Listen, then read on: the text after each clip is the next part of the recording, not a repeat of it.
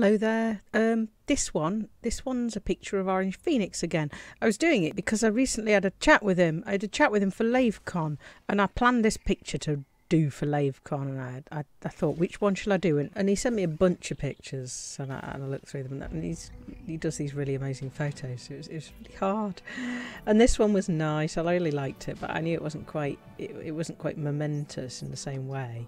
It was just a little close up, and I thought, well, it might not hold the attention for the length of time. It's a quicker one to do. It, this hasn't taken me as long, so I thought, well, I'll do this anyway to get myself in the mood, and.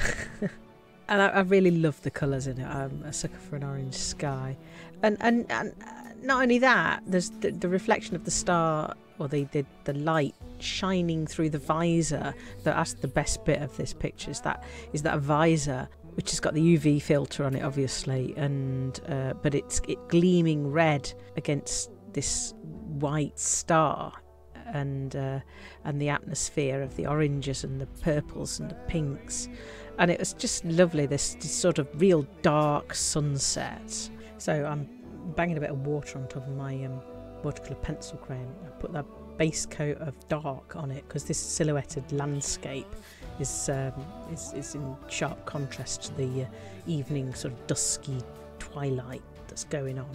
And you've got that kind of still slight awareness of shapes on the land but it's all fading into blackness so if I put that dark tone in first, anything I put on top of it, it's, it's going to be easier to work with and it, it will give me a bit more of a clear idea about what colour balance is for the rest of the picture. So I can do the, the, the spacesuit in a in a similar tone, but it's, it's different colour brown. I guess. I'm putting chalk on top now, but I can rub that out now and add other colours of chalk on top of that as well, so that's fine. And uh, I'll start to use a bit of a mask to allow me to use chalk but uh, still get the shapes but still get the shapes right. I need to use paint for his tufty moustache. It's it's great that they've been able to make the commanders a little bit more tailored. It's great. It's fab how many different coloured atmospheres there are in, in Odyssey. They're all different types of um, gases. The makeup of the gas is different. So you've got your hydrogen, helium, your oxygen, and then you've got things like ammonia maybe or neon in there that change. They all change the colours of the atmospheres, and they they know what the atmosphere is made of, and they also know what colour it should be at what time of day and it's just fabulous. It's so clever. I really enjoy it. And obviously to me it's just all pretty colours. And I, I really enjoy the way that the the upper part of this atmosphere is dark purpley blue and it goes through the purples and the pinks and into almost peach colours and oranges and then red on that horizon where it's thickest. And it just it's just so fantastic. And of course this is sunset so you're getting that that change in the uh, the, the, the, refraction of the light, the, the scattering, I think it is, isn't it? it it's just it's just so cool.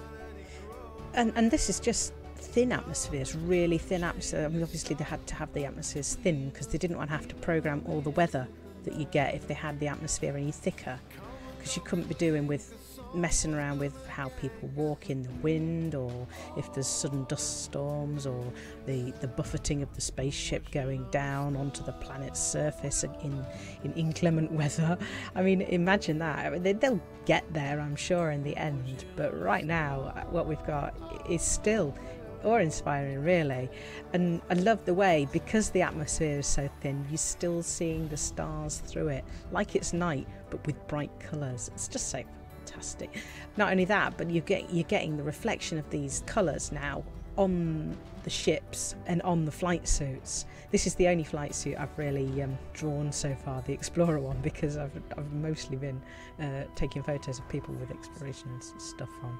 But uh, as time goes, I'm sure I'll start I'll start drawing the new the, like the Raider suits and the funky outfits which you can get you like your Stetsons and whatnot. I'm really looking forward to doing it. It's going to be so good. Anyway, right. Um, yeah, I'll do another picture in a few days. Bye.